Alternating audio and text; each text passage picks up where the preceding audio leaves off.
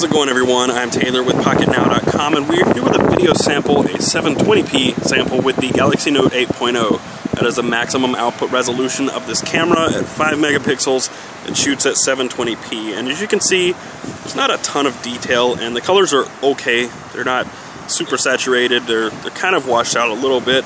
But the good thing, or the great feature about the camera though, is how quickly it adjusts for exposure. If you come down here, where it's a little darker and then you jump up to the sky and we'll come back down. It, it adjusts very quickly. Almost no latency there in how quickly it adjusts. So that is a good thing. And in panning, there's a little jitteriness. Um, that's, that's not exactly how jittery I am. It's just kind of wobbling around. I guess that might be some stabilization software.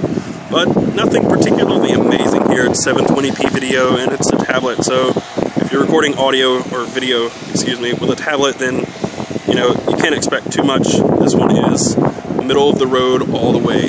So stay tuned for more Galaxy Note 8.0 coverage. I'm Taylor Martin with Pocket Now, and I'll see you later.